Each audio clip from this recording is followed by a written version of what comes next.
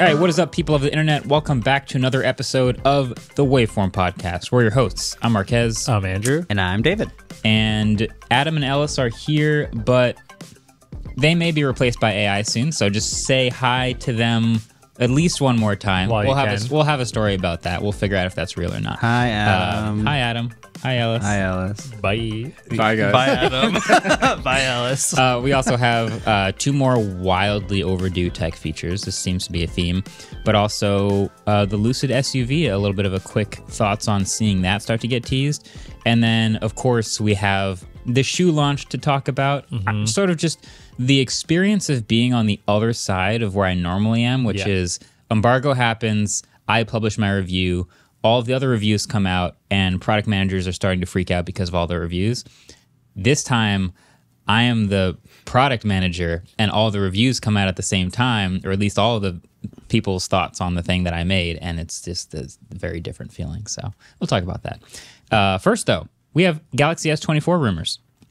Um, this one is actually interesting because it's whenever we talk about batteries, it's always incremental. I've said this a thousand times, but what was a good battery life in a phone uh, 10 years ago? Like, oh, all day would be pretty nice. Now, what's a good battery life in a phone in 2023? All day would be nice. So, but the phones do so much more that it's like I think we forget or we don't really appreciate how much better batteries have gotten. Where now we have literally 5,000 milliamp hour batteries in pocket-sized phones, and that was unheard of a long time ago. Uh, so this new rumor is Galaxy S24 may use stacked a new stacked battery technology that's borrowed from EVs. Um, which may give us maybe a 10% improvement in battery density, which again is just incremental. 10% is 10%.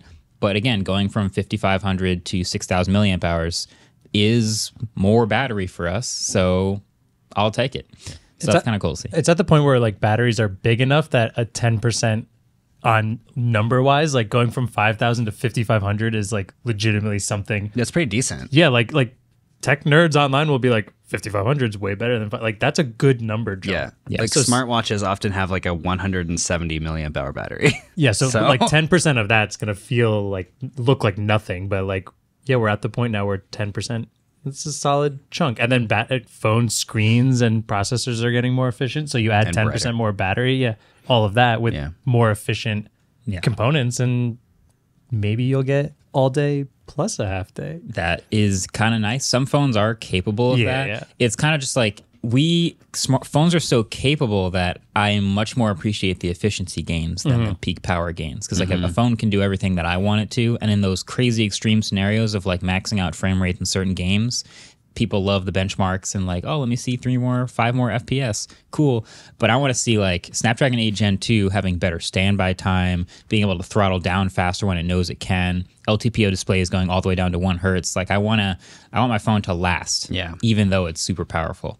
So yeah, give me more battery. That sounds great. Yeah, and just clarify this is different than like the one plus two separate batteries that are like just to increase charging. This is actually the way the battery cells are stacked inside of the battery. So you're getting 10% more battery out of the same size.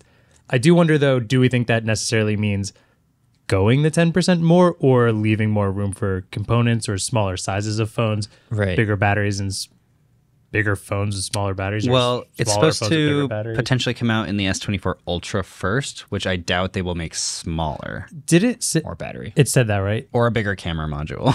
Yeah. Oh, that's true. Mm. True. Who doesn't need five more macro cameras on? I mean, the S24 Ultra, I could see them going with a 1.0 type sensor finally. So if that's the case, then they are going to need more room for that anyway. yeah. I for some reason, as much as I would like the 10% more battery capacity, I feel like we're just going to get same battery capacity, something else in it. Yeah, that's like that. often what they do when they come up with That's these new improvements. They're like, More we're not making it better, but yeah, but we, we use that extra room to put in a better haptic motor and more cooling and uh, a little bit extra something something else. Yeah. bigger cameras. more decks. Yeah, it is funny in product decisions. So now I'm thinking like a product manager because we just did this whole uh, this whole shoe thing.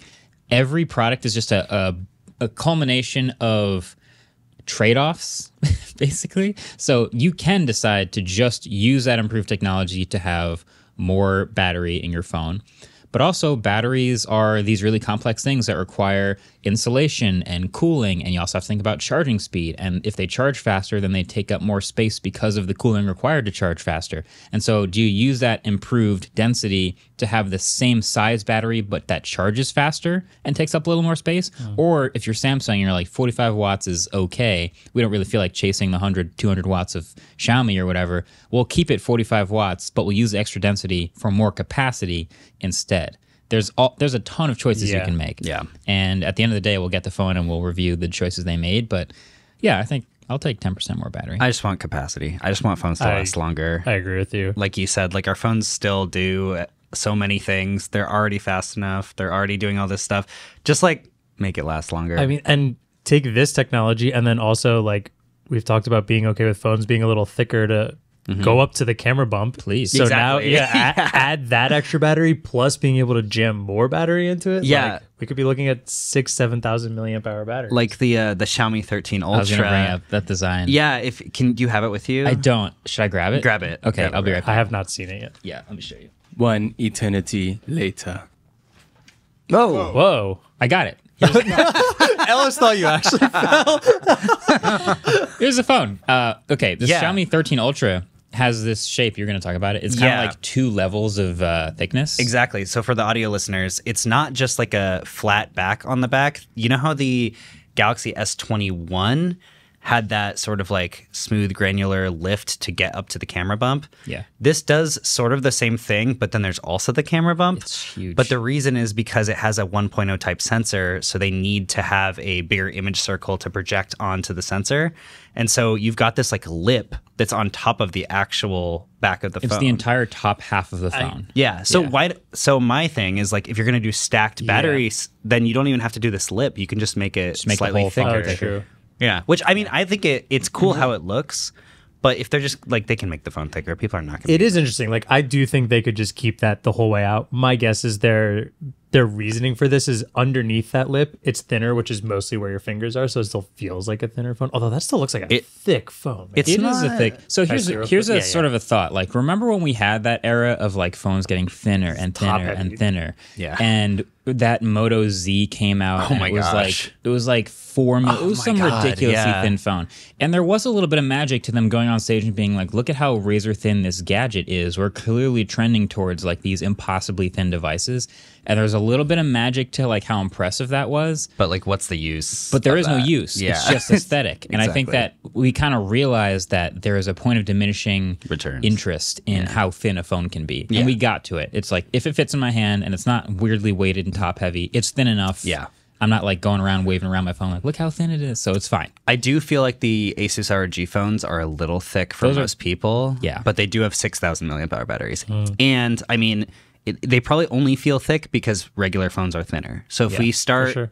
getting people more used to slightly thicker and thicker phones, like if Apple ever actually released that iPhone for, uh, 15 Ultra, which is not going to happen, but if they did, and they made it thicker because it had better battery and more rugged and whatever, I feel like people would start to adapt to phones being thicker in general. I mean, I even think some of the last couple generations of iPhones feel a bit thicker just because of the squared off edges. So, like, people are clearly okay with that. Like, imagine now Apple goes back to having curved edges, but they're the same radius of the squared off edges now, but then the back is just a little bigger and it Right. has a bigger battery. It would they- feel exactly the Like same. chamfer it a little bit. Yeah. You're literally going to have to do that if you keep making bigger sensors anyway. It's it's going Yeah. to be a thing where you're going to have to either have a bump or you could just add more battery capacity. So at this point, just add the battery capacity. This phone has this 13 Ultra has a 5,000 milliamp hour battery.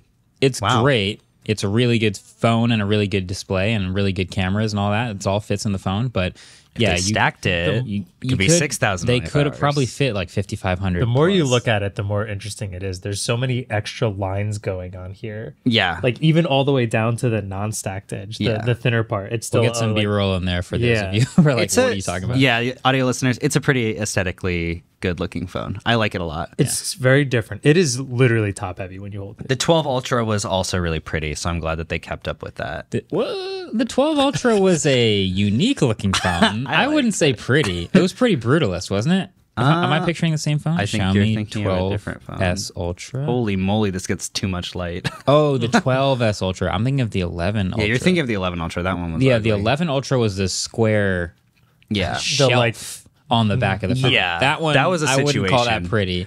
Okay, the 12 Ultra. Yeah, it's better looking. I like how 3.2x is the second lens. Yeah. It's not just 3x, it's Yeah, 3.2. Very specific. Yeah. Okay, we're a little off track. but uh, wow, this gets so much light that it's actually overexposed. That does not happen very often on phones. Yeah. Crazy. I mean, we're in a, a very well lit podcast studio. So yeah. I'm gonna steal lit, this after may say. review it, just so you know. So Okay. be careful. fair. fair. All right. So yeah, I'm hoping S24 Ultra gets a battery bump. The stack battery tech seems like pretty cool. Also, the fact that it comes from EVs, like EVs, the number one thing we're trying to do with those is get More better capacity. range, more capacity. That's where the development and the front lines of like battery chemistry Yeah. is happening a lot. So we love to see it. Yeah, this is used in the uh, Audi e-tron Q8. Is it I think it's out. Starting at 74k. Oh, I've seen that. So it has a 285 mile range. So That's not great. It's not go- great. That doesn't necessarily mean that they're good at converting battery could- to range. I yeah, could but rant for a long time It does have a 114 kilowatt hour battery though, Yeah. which I think is I'm not good at battery Yeah, hours on there's like- EVs. That's a fairly large battery. That's fairly large. There's like three main factors when it comes to like determining how good your range will be. One is literally how big of a battery cell can you fit in, like how much density can you fit, which the answer is 114 for this one. Mm-hmm. Two is how well can you convert that energy to driving power. You know, drivetrain efficiency. Electric drivetrains are pretty efficient, but it's still variable. And three is uh, how aerodynamically efficient and just space efficient can your car be? So if you build a new EV from the ground up, you can generally fit a larger battery and and go further on a charge. Where if you just put a battery into a car that's built to be a gas car, you won't be able to fit as much battery in there. Yeah. So all these things combine. I'm sure Audi's somewhere in the middle on that spectrum, but yeah, we see uh we see a lot of that. I'll I will, I'll save that rant for another day. Uh, yeah. but yeah, we we also have uh, a little bit of AI podcast editing yeah. to talk about. Did I think I showed you guys both saw me post this on Slack Yeah. the other day, right? The AI podcast editing tool. I was probably in Iceland. It was last night. I was probably asleep. It was probably your birthday. Wow. I forgot to mention that. Everyone wish David a happy birthday. I'm basically dust now. that makes me feel terrible. and, um, but uh, so it's like I'll explain it to David and the listeners um, because Adam and Ellis definitely both saw this and are a little are We sweating are over very there. aware. Um, Yikes. there's this new tool called Autopod, which is an Adobe Premiere plugin, and it can essentially That essentially name is threatening. it's pretty it's very threatening and it's very accurate because you can Yeah. take your adobe timeline sync each separate camera for like a podcast with audio and once it's synced you take open up the plugin label each voice and then it'll essentially go through the entire timeline and cut to whichever camera is currently talking I'm honestly surprised that wasn't already a thing.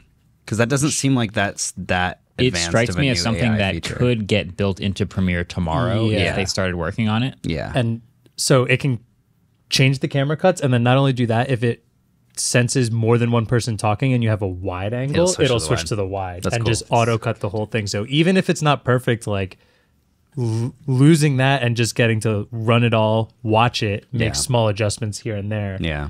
that seems it.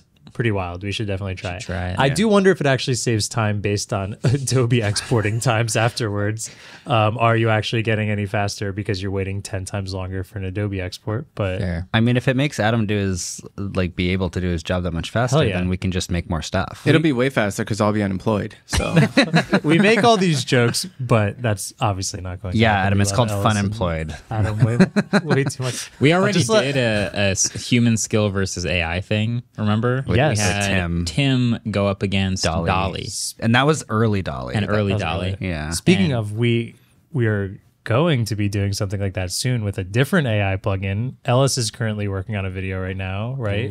Yeah.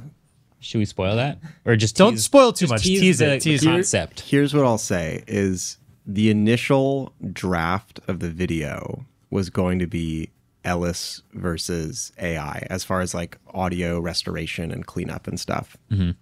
And I got started writing it. I started playing with the tools, and uh, I've I've already uh, lost. Um, we've we've put out three videos now that I did with AI, and and no one even said anything or noticed. So uh, so I don't know if the competition. We're still doing the video. The video is like Yeah, yeah, chugging yeah. along. The script's almost done. Yeah. Um, but it's not going to be the.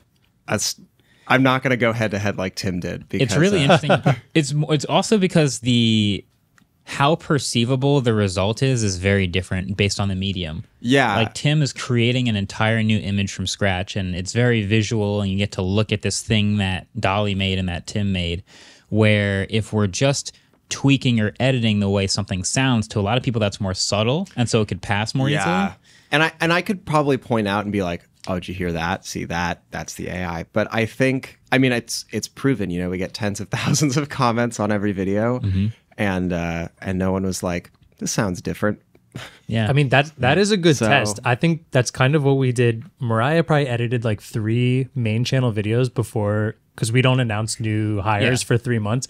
I think she had three full videos on the channel, and not a single person noticed an editing difference. And that is like the perfect test to be like, wow, this worked really well. I do want to say Adobe, if you're listening, I'm looking dead into the camera. if you're listening, give me access to Adobe Podcast. I've signed up for the wait list on every email I have.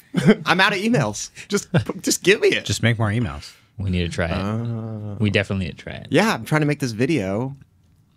Dog. Duh. Well, between Autopod and this audio editing stuff, if you are a, a white male in your 30s and you're sad that you don't have a podcast like all your friends do, don't worry, man. It's going to get real easy real soon. I just saw a really great tweet. I want to find it because it's we keep talking about how like AI tools are like borderline replacing humans.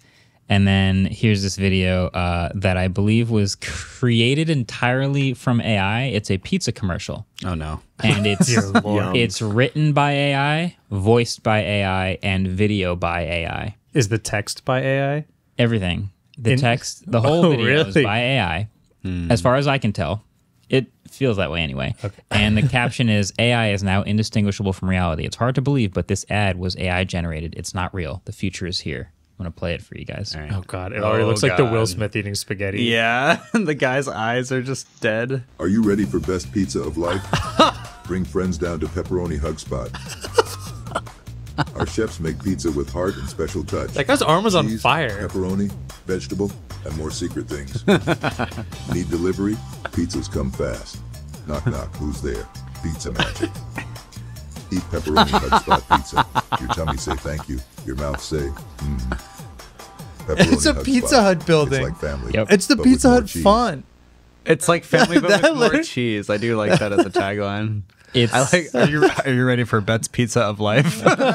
it's pretty hilarious. Was it? Wait, what was the name of it? Pepperoni Hug Spot. Yes. Yeah. that's a band name right there. That's that's a jam band in Brooklyn. for Pepperoni sure. Hug Spot. we'll I put would this one. totally do We'll put this one in the show notes. But the idea is, yeah, the AI tools aren't like full on replacing people at what people do, but as far as helping people do what people do, they're really good. Yeah, ultimately, we make the joke about like taking over Adam and Ellis's job, but it ultimately just makes it way easier. And then there's more stuff we can do with the free time. Yeah, I could just tell jokes. Like, what did one dinner plate say to the other dinner plate?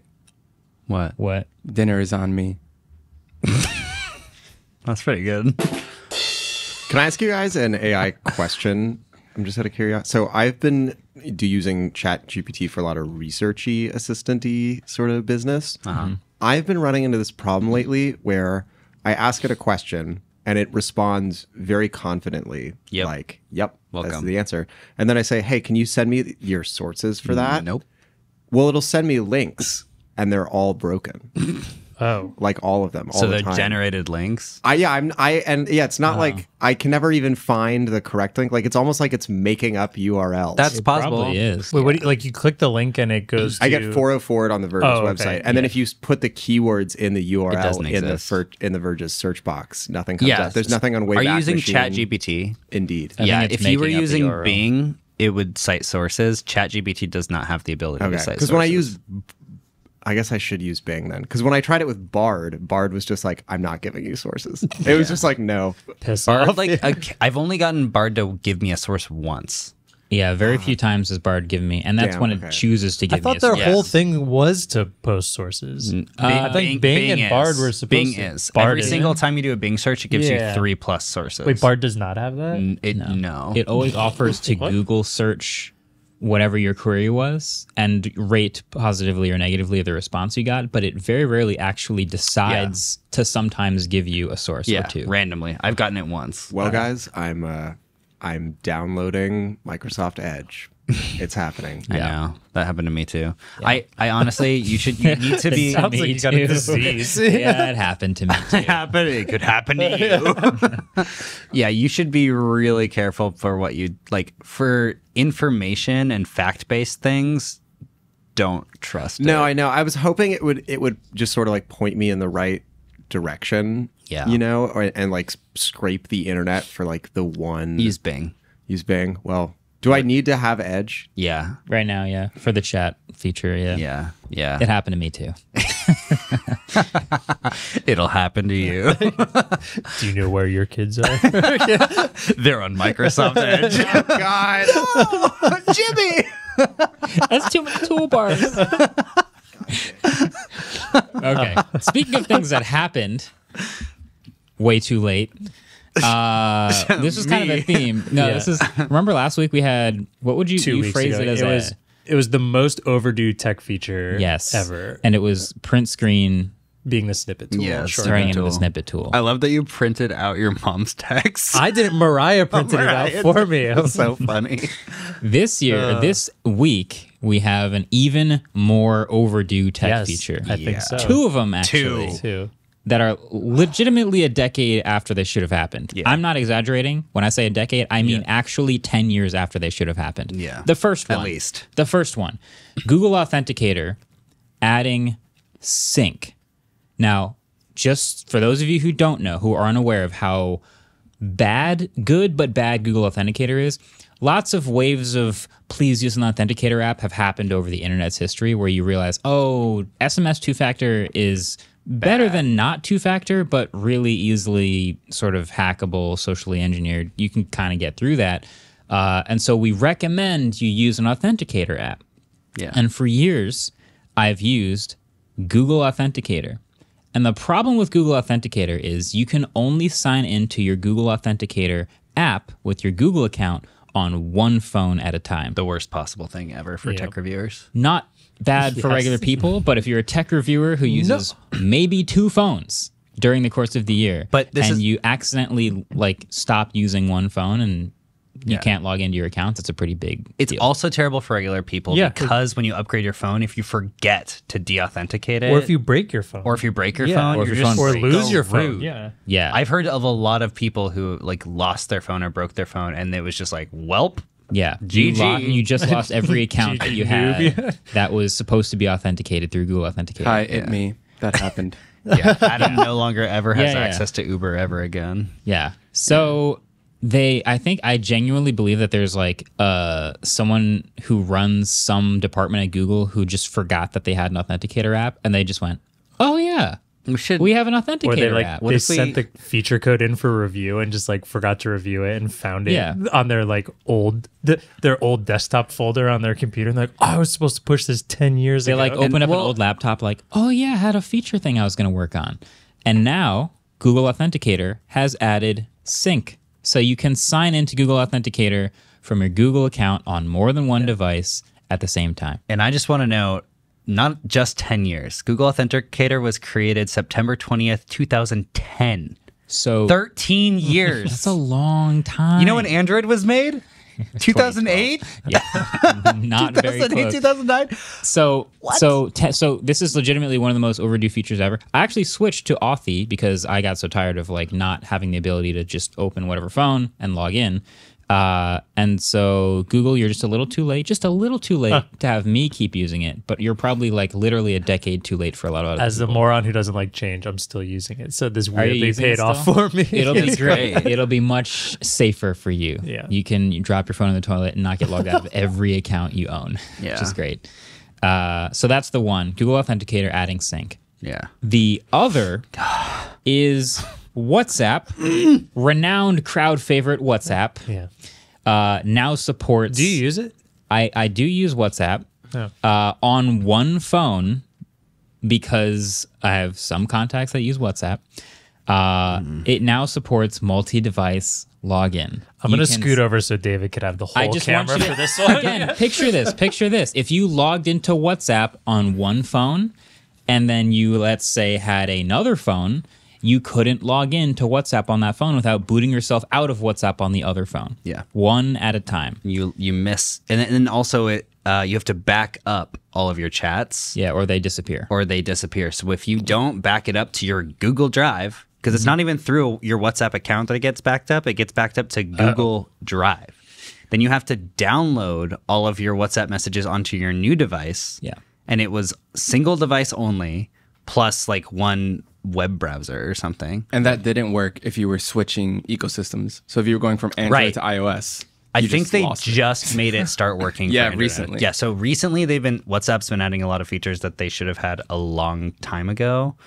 Um, but I just got I just gotta say, is the most frustrating thing for me in the universe Mm-hmm. that WhatsApp has become the de facto messaging app for the planet. Is it just because it's a bad app? It's many things. It's bad. It's many things. It's, pretty bad. really bad. yeah. Number one. Wait, can I pause you right there? This is going to be the most engaged podcast we've uh, I know. dumping on WhatsApp, making fun of Microsoft Edge. I can read all the comments, and we're not even at the first. I'm just like, break if you've ever used a, a a separate messaging client like Telegram that is like insanely feature rich, works on as many devices as possible, Syncs well. syncs well, like has a desktop client and a web client. The, the thing, I mean, specifically for tech reviewers, WhatsApp was extremely terrible because you would switch phones and you would forget to back up your chats, Yeah. and then you would just lose everything. We we actually a couple of years ago, like a bunch of tech reviewers, we all had this like thing where we told all the PR people, "Hey, we're not using WhatsApp anymore because we keep losing all our messages. We're on Telegram now. If you want to contact us, go to Telegram." And it actually worked. Nice. So I have a I have like a lot of people on Telegram now. So uh, join Telegram because it's great. Um, shill. but okay, so number one was that it's bad, right? Yep. Number two, it's owned by Meta. Like, come on. Small detail. I- It's it's uh yeah I I so I use obviously a bunch of different phones during the year, which is not normal. But I have an Android phone in my right pocket and an iPhone in my left pocket. And as we know, iPhone Android phones like we go through a lot of them as we review them and we switch Yeah. our whole life over to them, and it would be incredibly annoying to refresh my entire WhatsApp history every time I review a new Android phone. So I keep WhatsApp on my iPhone because at least that phone's in my pocket for a whole year before I test the next iPhone. Yeah, yeah, yeah. But still, every new iPhone Gotta just back have to go through this whole process, and I didn't back it up. I lost my chats every time Yep. because I just like get the new phone, set it up, and it just sign into everything. so I sign into WhatsApp, and it's fresh, and then the other one goes bye, and then it just loses everything. Yep. So these are these are overdue features. I would say on a scale of the most overdue, Google Authenticator. uh, Google Authenticator is we can all agree on probably that, right? at the top of the list. yeah. Uh, then you know probably a toss up between print screen and WhatsApp. I feel like print print screen might be longer overdue, but But I just can't Windows believe Shift S was there the whole time. I'm just a Yeah. moron. So maybe you the didn't know WhatsApp that? is a more important. I think WhatsApp is the more important feature. Update. Yeah. And it's up to four devices, so that's Yes. at least better. Better. I fully understand that it, this is a much bigger problem for like tech reviewers who switch phones a lot. Yes. but still, um, and it's just a it's a it's a numbers thing. The amount of people that ha- have everyone else on WhatsApp have everyone else on WhatsApp, and that's just the thing. It's just the way it is. Yeah. Sometimes. So anyway, get off WhatsApp. Get your family off WhatsApp. Good luck. You're not going to. That's okay. It's gonna take way more effort than you thought, and you're just gonna end up using WhatsApp anyway. I know. Sorry. Yeah. I just use SMS. Just use RCS. And that's where we'll take a break. we'll take a break. We'll do a trivia question. Just use WhatsApp. and we'll we'll be back after that. But let's do some trivia. Back in person for some trivia. You missed the lights, didn't you? I did. Okay. All right, to make myself even more irrelevant, uh, ChatGPT wrote this question. Wait, that means the answer's not. no, I fact checked it. Okay. Yeah. Okay. Um, uh, Let me rephrase that. ChatGPT wrote this question, and then I rewrote it to make it, you know, in my fun game show personality. That's the synergy we need with AI. Thank you. Um, in 1994, IBM combined the PDA and the mobile phone into one device, creating what is widely considered to be the first smartphone. On top of having a 4.7 inch touchscreen, it also had email, fax, and pager capabilities. What was the name of this device? Fax. That throw me off. 1994 is crazy, but No, no, no, 94. 94, yeah. Oh, I thought you said 84. 94 is a long time ago. Yeah. All right, and with that, we're going to break.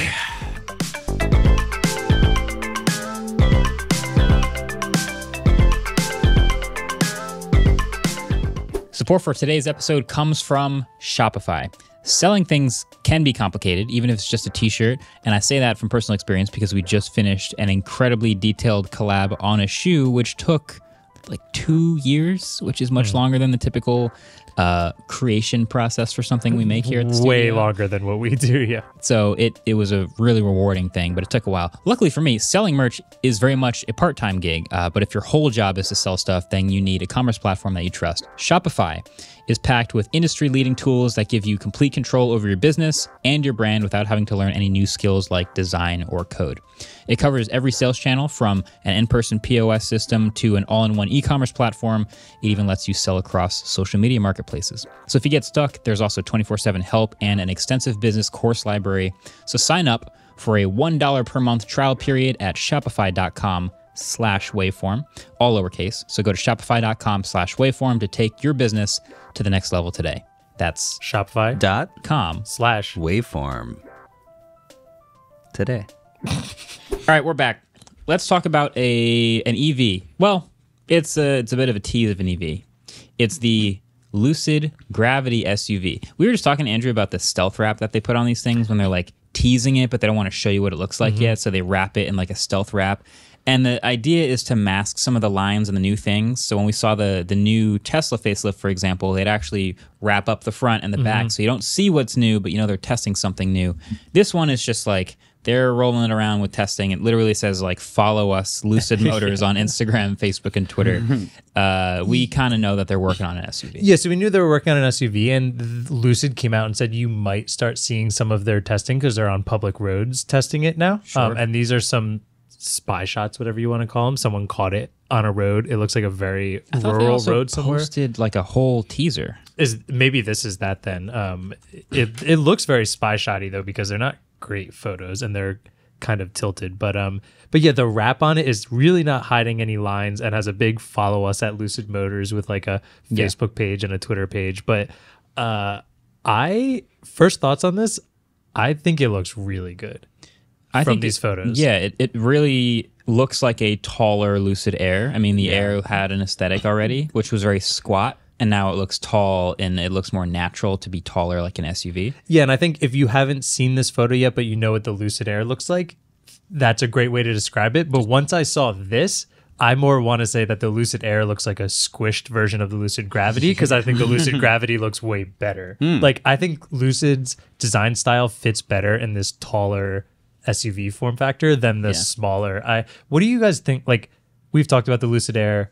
I love it. Hayato says it's the worst designed car like in the world. He absolutely hates Wow. it. I think it looks good. I dig it. I think It's wrong. different for sure. The Air. we can make fun of him when he's not in the room with us. Yeah. the air is uh I, it, it can It's grow on you it definitely doesn't look like other evs i don't love the two-tone and some of their colorways Agreed. are pretty buick you know like beige old school. I think of the like Sebring because with the like soft top convertible. yeah i think they're trying to be more like maybach two-tone Yes. and like iconic in their own way but ev so you know they've, it's unique. Obviously I, I agree. I think this this taller version looks better as an suv i just know it's going to be expensive mm-hmm. because it's a lucid and this is what they do. So like the if you just take the equivalent tesla model s every lucid air that matches is like 30% more expensive so actually even more right now a plaid is 105 grand and a gt performance is 180 grand oh my god. and the god. sapphire that's not even out yet is 250 grand uh, so Oh, yeah, it if you're going to compare this to a model like x which is like 10 15k more than the model s you're thinking this is 190 It's a base. maybe i mean Ooh. if it's if it if they're smart it won't be 190 but it probably will be easy in the six figures for the base Yeah. version of this thing Crazy. but it will probably be really, really firm. It will probably be really well made. It will probably be really fast, and it will probably have lots of storage because Lucid did that really well with the with the cars. Yeah, true. Yeah, I mean, I think this is gonna. I think it looks great from this. Uh, the one thing that worries me, since there is a wrap around it, how glossy like the quote unquote grill might be. It does look like there's a little lip in there, so maybe the whole front trunk pops up. Do you know how like the Ford F one fifty versus the Rivian front trunk? Yeah. is like uh, way th- way deeper. it's deeper. It's not just that it's deeper; it's that the front access to it, like the Rivian, you have to go up and over a lip. It's like where- a tub. yeah, yeah, yeah, exactly. like a, like a big shelf. tub you look down in, and then the F one fifty, the trunk, the hood goes between the lights, so when it picks up, there's like a slot Oh, yeah. into it, Like a shelf. This looks like that might kind of be like that between the lights. Maybe that's where the the trunk picks up, but there's also another line, so maybe just not at all. The headlights look pretty good on this I too. think the headlights look so good, man. Mm-hmm. Yeah. That it looks way better in this than like smushed down in the Yeah. the sedan style. yeah. Um, I think, the the reason they're making this is pretty obvious. These sell sure. more. Like the there's a famous Lamborghini story where like they're they're selling a couple hundred cars a year, and then they come out with the Urus, which is an SUV, and then America goes, "Oh, finally, I can buy a Lamborghini and not be lacking back seats." And that thing basically kept their business afloat. Like the Urus is the most common thing they sell. If you look at Porsche sales numbers, I'm sure the Cayenne and the Macan are probably half their sales. That's like mm-hmm. how they make their money in the mm-hmm. US. So Lucid, notoriously struggling to make money selling very, very expensive cars. If they want to make some more money and stay afloat, they should at least offer an SUV, and America can decide if they want to buy this one too or not. I mean, yeah, Yeah. Americans love giant cars. Yeah. If you can't absolutely destroy something walking through a crosswalk, we don't really want it. So, like, Luce is on the right track. I was just gonna say when I was in Iceland last week, I saw one total F one fifty.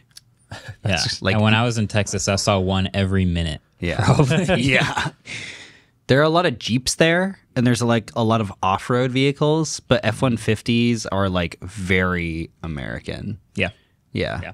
Yeah, yeah. So there, there- yeah, a lot of like off-roadish vehicles, and then Yeah. a lot of really tiny cars like Citroens. well, yeah, and Iceland, like a lot of people doing it, there's all those different travel agencies where you rent like some sort of semi off roading thing to Yeah. drive around, right? Yeah. And go into all the different. I rented a Jeep and got it stuck in the mud. nice. That's pretty classic though. That's Yeah. what you got to do with Yeah, a Jeep. exactly. Did you guys see the Lucid like CarPlay video that I tweeted? Yeah. So there's this video, if you haven't seen it, uh, of we we mentioned this in a previous episode, but Lucid finally caved and added wireless CarPlay to the Lucid Air. And if you do enable it, it's this it's like this little square cutout on the second screen, and it, it's just boom. You got CarPlay on this little window on And the, screen. and the reason that's weird is because the second screen in the Lucid is like a flat 90 like a degree on one side, and then the other side curves down, almost like a Yeah. like dolphin fin Yeah. on its side. Yeah. So for the longest time, Lucid did not offer Android Auto or CarPlay. It's their own software. They tried to do mm-hmm. everything: navigation, car features, charging, all that stuff. And you know, people keep asking for CarPlay, so they finally caved and did it.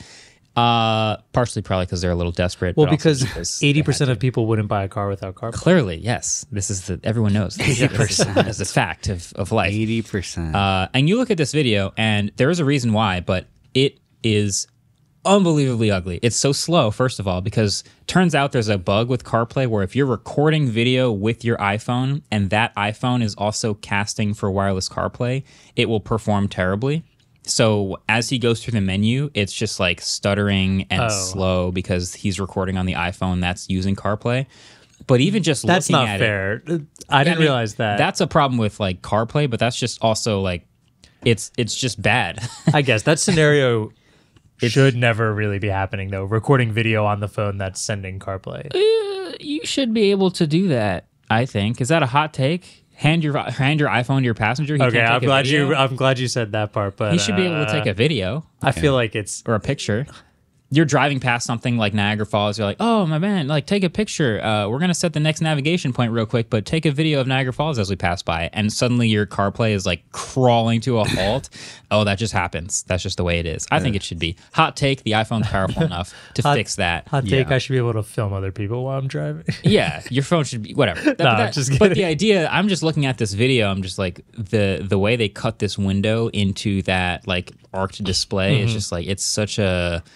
It looks like an afterthought, For sure. and it just reminded me again why I don't think car companies are very good at making software, yeah. even if they are a a California startup. They're still not great at it. Yeah, I feel like there's got to be some way to just be like, here's the square, but like match the background. Because in that video, or a different, vi- no, no, I think it was that video. He was like, well, if you set the background of everything to black, it Yeah. looks less It looks bad, less but you can still totally tell. The problem is, is since the bottom left corner is a perfect right angle, it fits perfectly there. But then the top starts curving, so you can see the curve go over with the background that's not CarPlay. Connect to the corner of the square that is CarPlay, and then pixels. continue to go over into another triangle. Well, you know what's blank interesting to me?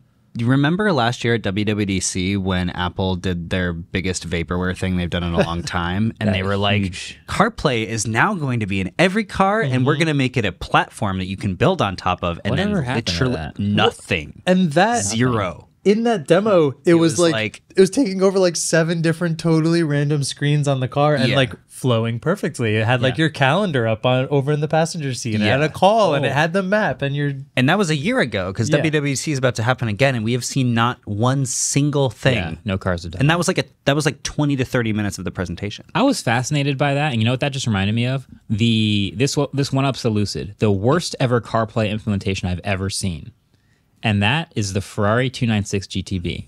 If you do CarPlay in the Ferrari, the Ferrari only has one screen, which is your tachometer, your speed, and everything. And if you do CarPlay on the oh, Ferrari, no.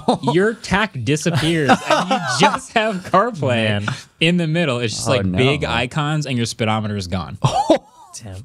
Which you know, in a Ferrari, That's it doesn't dangerous. matter, right? It's dangerous in a Ferrari to not have a speedometer. you know, 'cause it doesn't can- matter how fast you're going if you're driving a Ferrari. You're You gonna get pulled very, over anyway. Very quickly lose track of really going to take that out of my list of next cars to buy. Yeah, That's so crazy. If you were thinking about getting that car, just know that CarPlay disappears your tach. But Holy hell! But Yeah. I, and then also in in that Apple thing, what they saying like your speedo will be in CarPlay, your tach will be in car like Yeah. But now Yeah. it's just like Yeah, it would have been in that car. It would have been really interesting Yeah. if you could fully take over the display and show me the range, show me the speed, show me the things that the tach was going to show me. Yeah. and CarPlay stuff. Well, that was the idea, right? It was mm-hmm. supposed to be like every EV manufacturer makes different kinds of screens and they're different shapes, and so then you can like kind of build on top of CarPlay to add your own elements and all this stuff. But like, I think that Polestar and maybe maybe Volvo or something, which is Polestar, were like the only manufacturers that they said they had on board, and then they also just never did anything. Well, but and it's even interesting. Polestar's those Android are automotive too. yeah, it makes sense because they they're also doing have CarPlay now. Hmm.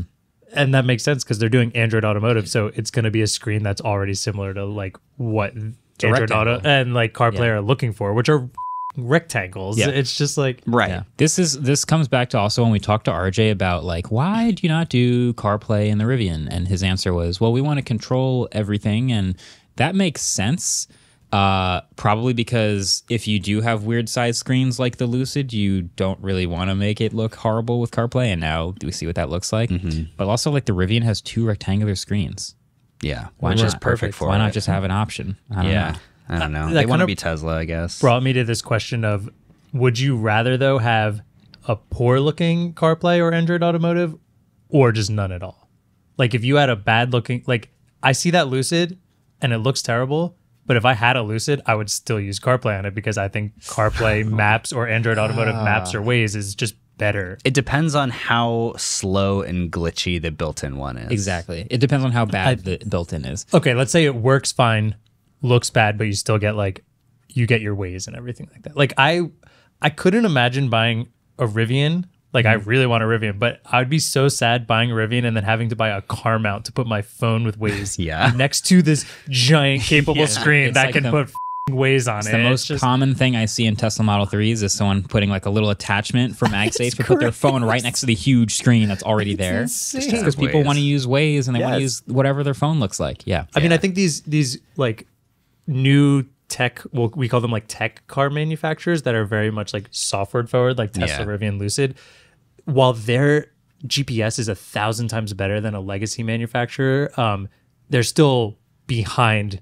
Google Maps and Waze and Yeah. a- and Apple Maps. So the hierarchy is they're closer. CarPlay and Android Auto when they work well are at the top.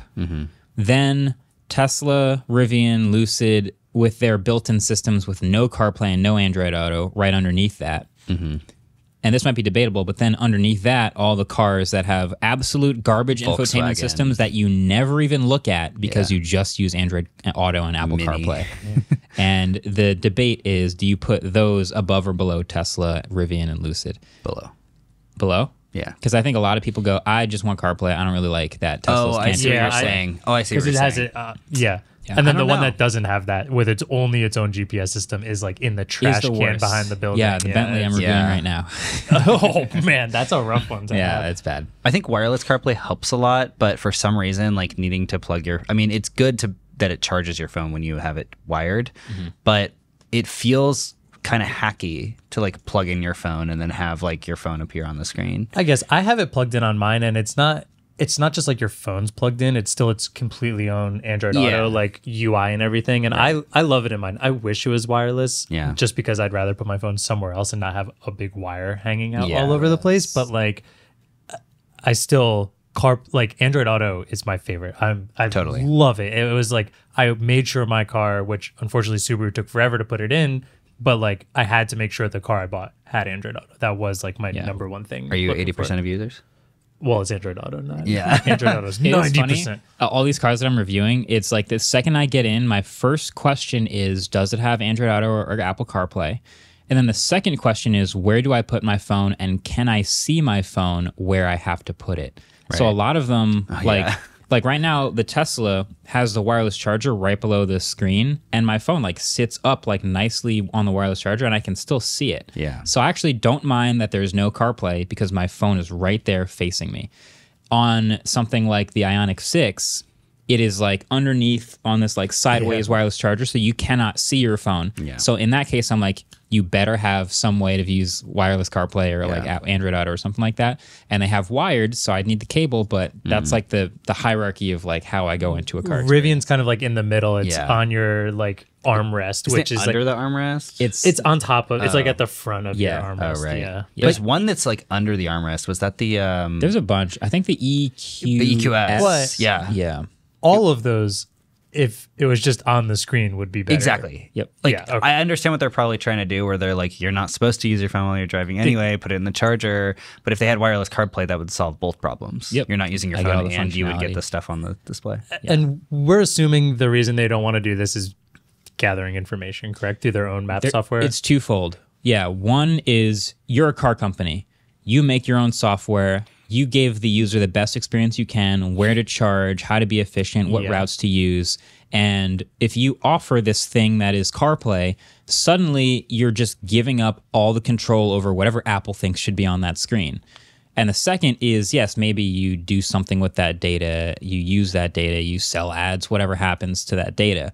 Um, but I think the control is the one that they're all saying forwardly because that makes the most sense. You want to offer the best experience for the user. How will Apple CarPlay know how much range is left on my car and what I'm going to get to? I think that might be an a good upcoming feature because a lot of EVs, Yeah. as you're going to the charger, they'll go, All right, you're five minutes away. I'm going to start preconditioning the battery for fast charging. If I go use Android Auto, the car doesn't know to do that. Right? Yeah. So those types of things like make the experience of an EV better if the software is actually good. And I think that's what Apple was hoping would happen when they introduced this quote unquote platform that Ah, I that's don't what I think was hoping would actually happen. exists. Yeah. but Yeah. Maybe they're still working on it. Maybe. Maybe. If I just like that that. Apple went from that. It's like any screen, anywhere, totally integrated. And the first thing we see is Apple trying to fit a triangle block into the square block of the Lucid. Maybe. Yeah. Maybe Apple is done with it and just no car company wants to do it. Yeah, that's Because why would they give up their something I thought whole about. thing to some other company who could Yeah. just push a software update and do something they don't like? they want to be a platform. Yeah. Yeah. Apple Car incoming. Yeah. I guess the Apple car will be the one. A hundred percent of people will like that car because it has CarPlay. What if the Apple car is not real and it's really just the platform that they were building the whole time? They were just using like a body of a car so they could build a software platform. That would be a lot of work. Yeah, but making cars Just is make the rest of the car. work. just make the rest of the car. put wheels on it. How hard could it be? Uh, do you guys know about the USSV Rhino GX?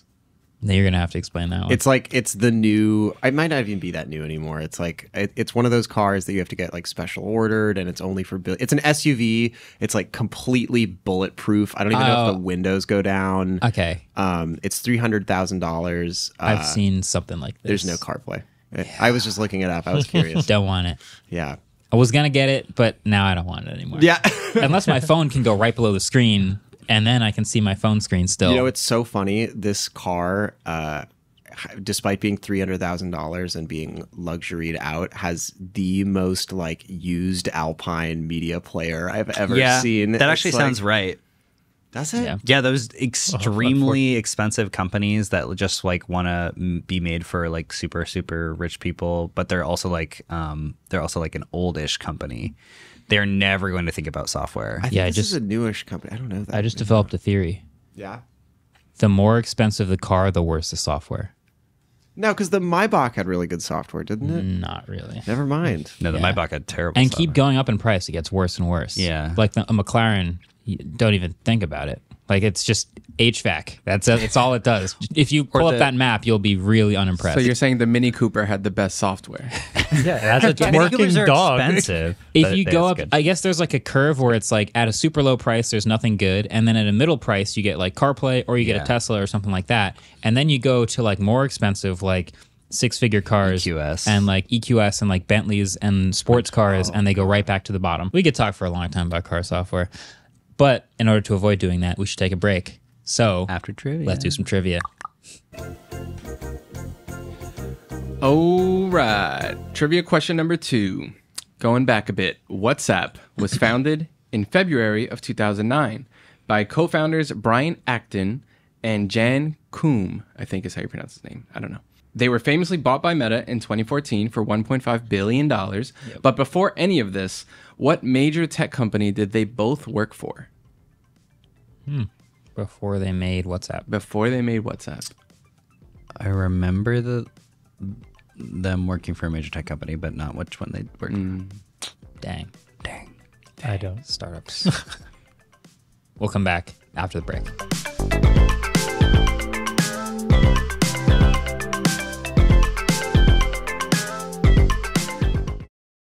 All right, welcome back. Um, we are going to end this episode with uh, Marques is now the proud designer of a new product. We released some shoes with Atoms the other day, and I have a couple questions for him because uh, he's usually the reviewer, and now he's the reviewee.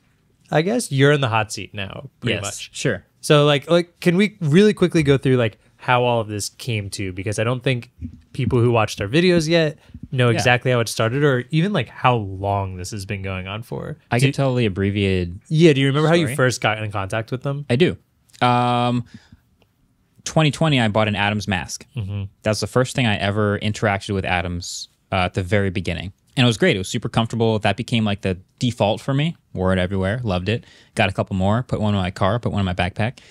Um, so I loved Atoms already. I didn't really think too much about the shoes because I already had shoes that I liked and I didn't get any new shoes. But then Alexis Ohanian connected us again, said, hey, like Atoms, you guys make good stuff. Marques, you like Atoms products. You guys should collaborate on a custom shoe. That was Alexis's idea Yeah. at the Wow. beginning.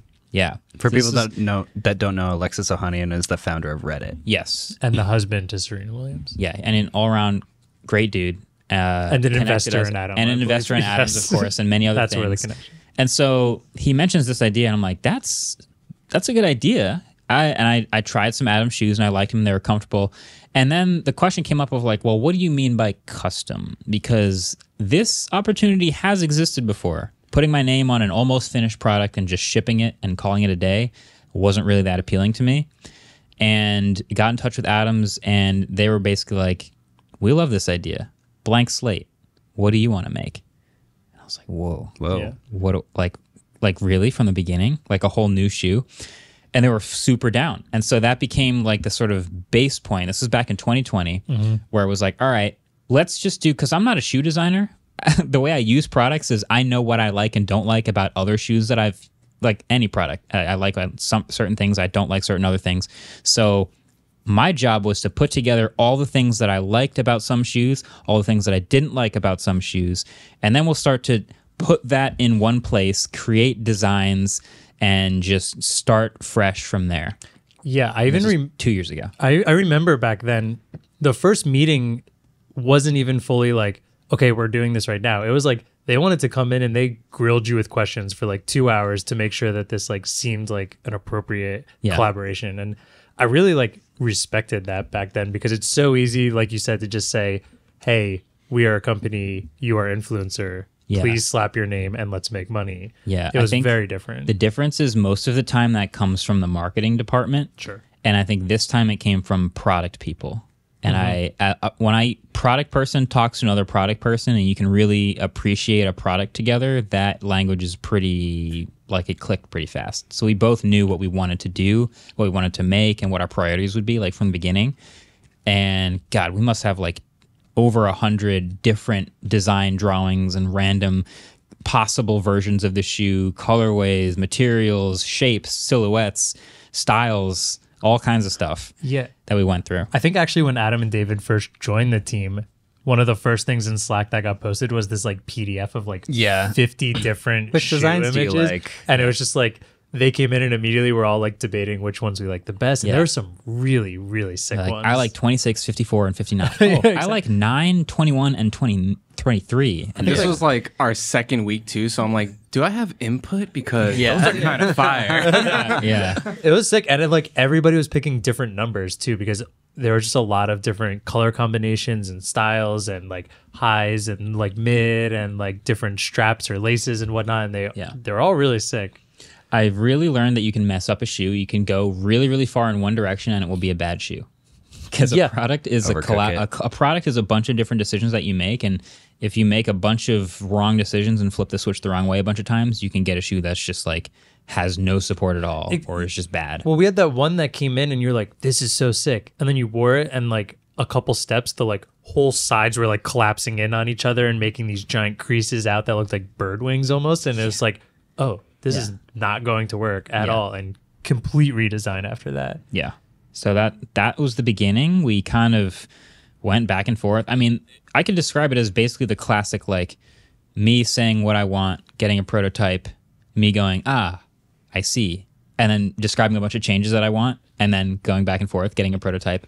Ah, okay. Here's how that looks. And then just going through that process a bunch of times. That's the basic skeleton of how it went. But it was like we had to make decisions to optimize for comfort. There were decisions to optimize for aesthetics, to optimize for cost, to optimize for everyday wear versus like this isn't going to be like a sport specific shoe, but it is a high top. And most high tops are a little more specific use if they're not like everyday wear. So there's a, there's a ton of decisions that go into something like this. Um, And even price, like I was, the price is 189 And mm-hmm. listen, no one thinks that's a cheap shoe. Like it is not a cheap shoe. It is- mm. it is a quality premium shoe. But if you look at Atoms' other shoes, which are entirely different, they're a very similar price. I think they're like 160, 170. Mm-hmm. So to think of a, a shoe with materials they've never made before, high top. Their other ones are lows. Their other ones are basically one color. Everything matches. These are leather or synthetic leather, Synthetic and leather, all sorts of material. Yeah, and Yeah. to make something like that, that's then only like fifteen dollars plus. You want to throw like influencer tax on, if you want to call it that. Like, I think it's pretty impressive, and and a lot of shoes are similarly priced. Again, I'm someone who buys shoes on sale. I spend sixty bucks on shoes. Mm-hmm. It's expensive, but like. I don't think it's that wildly, wildly priced. I think my my main thing that sort of encapsulates all of it is I really want people to wear these because I've been wearing so many prototypes that had so many flaws, and now that we have the final version, and I'm like wearing them like basically every day now, I'm mm-hmm. like, man, when people get these, they're going to really appreciate them if they actually wear them. And so if you just like get them, look at them, or just look at a picture online, you're like, oh, that's not worth the price. But when you put them on, you're like, dang, these are really light, these are really comfortable, and these are like decent looking. And I kind of think they look sick, but that's just like because I designed them, so of course I think I, they look sick. Uh, then then you'll appreciate it more. So I think I, I hope people wear them, and I'm considering. Not sure if I'm to be able to do this, but I'm considering wearing them every single day for the next year and seeing how that goes. And I'll have the pair that was worn the most with however many thousands of steps I take and however many miles I walk. You're like that guy with the Model S, the first one to drive like Yeah. 100,000 miles. Yeah. I will I I am the one most well suited to do this because I've already had mine for several days that are perfect and we'll see how long I can wear them. I'll hold you to that. Yeah. I want to I want to see that. I want a picture every single All day. the rest of my shoes start to get lonely. pictures. Yeah, you know, I- but I, that makes it easy to pack because I don't have to wear. I'll probably wear other shoes for sports specific things. Obviously, Okay, I'm yeah, not going to golf in these, but like this is this is my mission. We'll see how it goes. We did actually design them to fit perfectly in the Moonwalkers. we did not. Yes, we did. Yeah. we did, right? Absolutely. Yeah, yeah. Uh, David and I contacted Sidra and Lacoste separately to make sure that they fit uh, perfectly on I that. see. Yeah, yeah, yeah. yeah. Very important fact. I mean, they are soft. This is there's another random fact. I've had like a heel issue called plantar fasciitis for like four or five months. I have that too. I have it on my Same. right my right foot, and so Weaklings. the the help that I got from the podiatrist was like this insert to put in all of my shoes. So I've been taking the insert out and putting it in the new pair of shoes that I wear every day. I have a pair in my cleats, and every time I put a pair in my shoes, I take it out, put it in the shoes, and wear those shoes for the day. These are the only shoes that I don't have to put the inserts in because the oh. heel is actually soft enough and cups and supports well enough and has arch support just enough with the heel toe drop that I don't wear them in these shoes, only these. So if you go to a podiatrist, you can get a doctor's note Yeah. and your insurance will cover the purchase of Yeah, your podiatrist be like, just get these 251s. super feet inserts or these two five ones. What's it going to be? Because they're the same price, so it's uh it's up to you. No, I I, I think they came out great. I'm well, really so, so the next thing I want to ask you though is now uh, for yesterday it released. Today's Wednesday. We're recording. When he were, this got released yesterday, Marques sat in front of his desk for the entire day. I think true. every single person in the office was like, "Dude, are you doing okay?" Like, Uh, yeah. it was just like phone, computer, phone, computer, phone, computer, back and forth, back and forth, answering, retweeting, like looking at. You watched probably every video that came I out about it. Yeah, everyone. How's it feel? How's it feel to be in the hot seat? It's funny. I, I get it now. I get the stress of like sometimes I'll get an email from a product manager who's like, you can tell they're stressing out about the videos that came out about their product. And to me, I'm just like, look, I'm making my video. Like, it's one video. Um, everyone's going to have thoughts about the thing. We'll probably agree on a lot of things. But now being on the other side, we're like, I want to see what everyone thinks about every little thing. Yes, I I got a lot of screen time yesterday between YouTube videos and people did unboxings, people did reviews kind of and also just like showcasing them and just like checking them out which is super cool uh, i got to hear basically what everyone thought about every single feature about the laces about the looks about the bags that they got uh, which we might want to do more of about the actual materials and the lightweight of the shoe uh, super fun videos i'll shout out a few because they were fun linus did a video Yeah, it was amazing. Linus So did a great video Yeah. reviewing it, uh, kind of poking fun at us, uh, but as a sandal. He reviewed it as a sandal, which was hilarious. And he did his like his uh, his labs thing where he measures it and Yeah. does some like vertical leap testing, blah blah blah. It was all obviously kind of like a extended April Fool's Day Yeah. fun yeah, video. yeah. But it it was, was really super- long too. It was great. I enjoyed it. so it. well made. And Yeah. to Linus's team's credit, which we all know they can make videos very quickly, like these shoes to influencers got out like last week. They have not had a lot of times with these. We've Yeah. This got pushed to the edge, and they made an incredible. It was a really good Yeah, video, It was yeah. awesome. So that was super cool Even to an see. intro. They redid Yeah, the they intro. redid everything. that. intro. they did a Linus intro. How long were they sitting on that? Do you think they were like working on that as That's soon as they good found out about the the project? email. There's 'Cause no way you make that in a now week. nothing made our intro, and so did Linus. Yeah. So there are three versions of the MKBHD like intro now. genuinely well. we have to do a animated. waveform one. and they all stole. Redo the yeah, yeah, redo- and they all They stole Ellis's audio.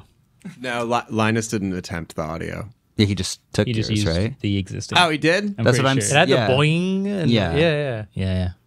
So, anyway, anyways, Linus's video is great. I also do not wonder if when so the Atoms team is clearly fashion people. I don't know if they understand our like tech memedom that's going on here. So I'm just like wondering them seeing Linus a 15 million Yeah. subscriber page and then seeing that being like, I don't know how to think about this. when we were watching all of the videos, I think the the really fun thing was that everyone that we sent it to did it like it was a regular video that they would normally make, Mm-hmm. and seeing everyone doing their style of video but with this shoe was Yeah. just Fun. really funny. and like in a really fun Yeah. way too. Zach had like fake legs in his short Yeah. that he like pulled up. Zach's video. I was nervous that Zach was going to take a knife to it.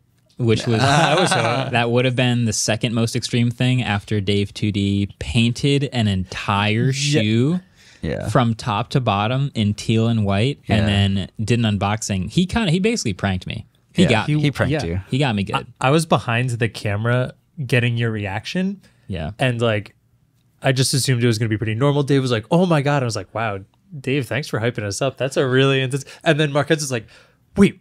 Wait, what is that? And like, I got scared on the side. I was like, "Did something happen? Did we send them the wrong shoes? What's going on?" And I, because I couldn't see it, it Uh. Yeah. was, he got you pretty good, but He got me. Dave had a great funny. one. Becca's video was Becca's was fantastic. awesome, And the- yeah. Yep. the best part about hers, other than the transitions, was her just spinning the sneaker for like 20 seconds to make sure As the, the video outro was to- exactly two two minutes and 51 51, 51 seconds, yeah. seconds. Yeah. That was awesome. Also, sh- shout out to the Jersey girl. I I just am. I just am. Yeah, I just love am. I just am. Yeah. Uh, yeah, lots of really good stuff. Well, I'm gonna link as many as I can in the show notes. Shout out to everybody who's who's just messaged me about them. Even if you didn't make anything, I got lots of useful feedback about them. Uh, it's been pretty crazy. Pretty crazy. Yeah, and we're looking forward to them getting in everybody else's hands to see people that aren't friends reviewing them, checking them out, feedback, stuff like that. And yeah, yeah. I'm excited. Should we talk about how they run slightly big? Oh. If, pe- if people are going to order them from the podcast, Worth mentioning. So there's a size chart on Atoms, but a lot of people don't click that. They just like order Yeah. the normal size. If you are curious about sizing, they run a little big. Meaning, if you're typically a 10, for example, I would order a nine and a half Yeah. in these.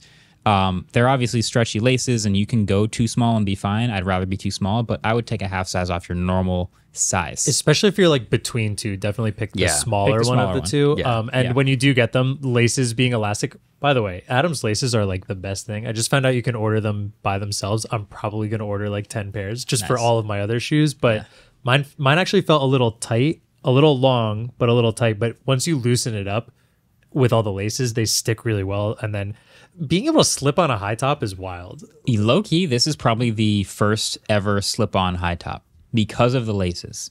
Like there are other high tops, and you could loosen up your laces and then slip them on and then tie them. But these, uh, you That's can not actually slip on. If you have to tie it, it's right, not a slip on. Right. This might be low key, if you want to call it a tech feature, the first ever slip on high top. Just throwing it out there. What about the Balenciagas though? Who's that? There we go. No, that's it. Who? oh, Who?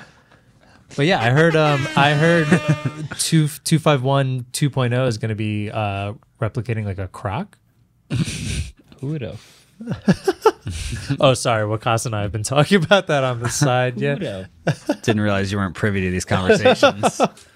No, yeah, we we I love what we made, obviously, because I, yeah, obviously, but um, I hate what we kids. made. I'm excited, yeah, to get this in the hands of people. There's a billboard in Times Square right now of uh of the shoes.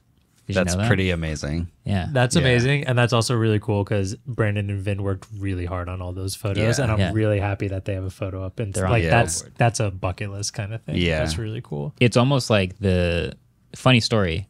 I know billboards don't convert sales because they're billboards, Yeah. and this is an online website, Yeah. so like it doesn't really work that way. But the billboard was live like a day before release, Yeah. and one person, Only one person noticed. went to Times Square and went, wait a second, and tweeted a picture of the billboard at me the night before the shoes came out. And I was like, oh my God, it's out. It's our embargo is broken.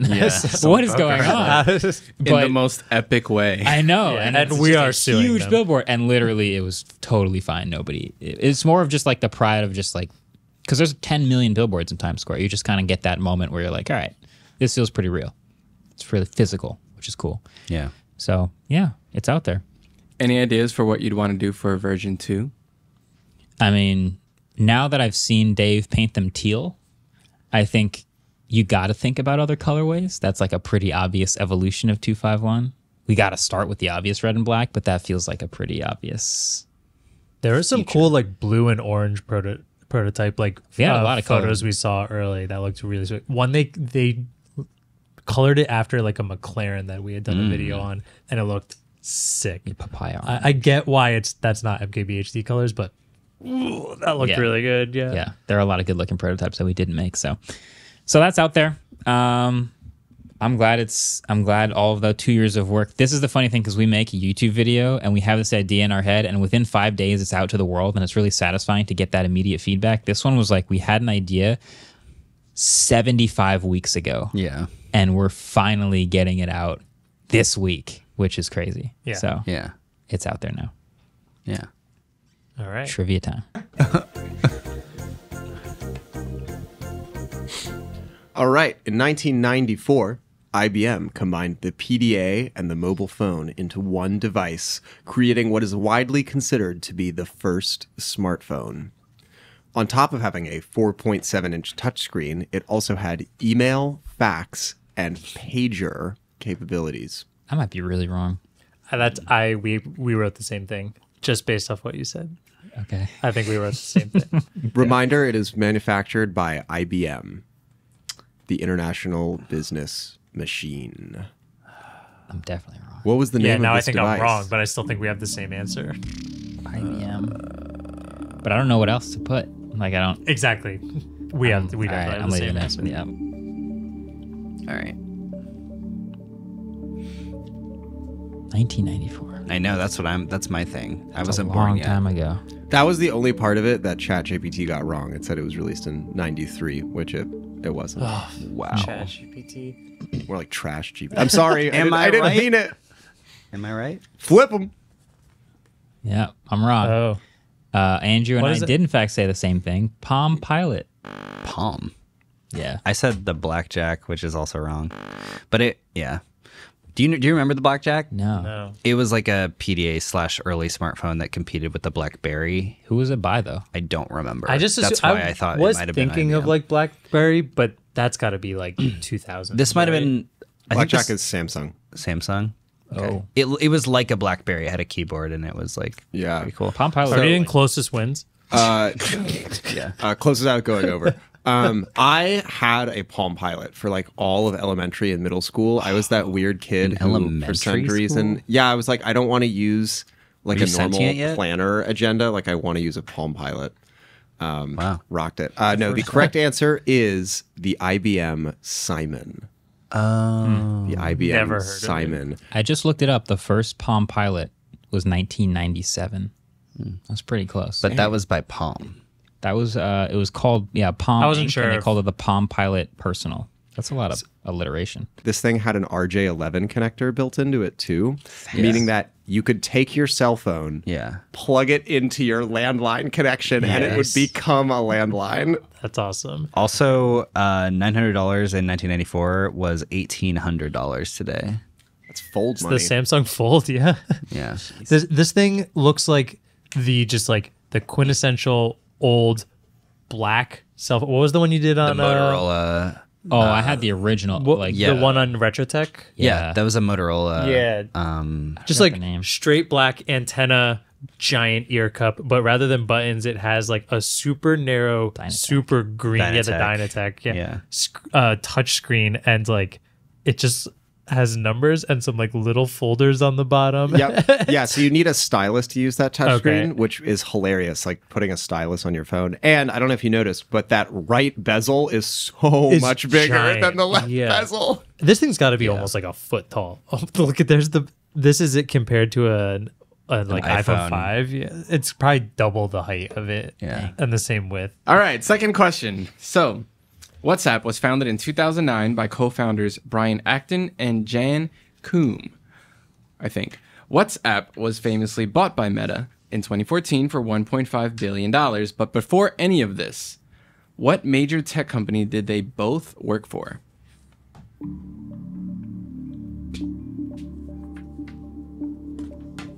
That was fast. Because I have no idea. Oh. Yeah. I've heard the answer to this before, but it wasn't s- stored in my SSD. Yeah, it got erased from local memory. Yeah. Just think if you're going to make an app as bad as WhatsApp, what terrible platform are you going to leave prior to that? But that almost sounds like You I might said be right. platform. That's a big hint. That's messed up. Spin them. Flip them and read. them. Okay. Well, I said Google. I said AOL. I also said Google because I was like, yeah, Google would have made a really amazing chat app, and then, then it got out. sold to Meta. Yep. The correct answer is I was. Mm, I wanted to do that. So the score remains unchanged. Marques with 14, Andrew with 9, David with 13. I didn't remember Marques passing me. because you were in Iceland. You were in Iceland. Did he get two points last week? I No, he- did. he I got, got- a point. Yeah, and he got closer. Remember, you didn't. It was the one Yeah. who gets closest without going over. And that was you only got one point. Were we tied before that? Mm, no, I got a point for being closer, and I got another point for getting the answer right Oh, of a different question. Clearly, someone doesn't watch our podcast, David. I was in Iceland. There's no podcast. There in aren't Iceland. podcasts in Iceland, Adam. There's only Nordic casts. Vi- Viking cast. casts. Vicasts. Marques, take us home. Either way, hey, listen. we appreciate you guys. wait, wait. Andrew has 0.69 points a game. Nice. Right now, at this very Nice. moment, Yeah, shout out right to now. Andrew. That's a Shouts solid out. average. Good batting average right there. nice. Nice. Uh, very nicely done. Anyway, okay, that's been it. Thanks for watching. Thanks for listening this week. We'll catch you guys in the next one. Peace. Waveform was produced by Adam Molina and Ellis Rovin for now until AI takes over. We're partnered with Vox Media Podcast Network, and our intro outro music was created by Vane Sill.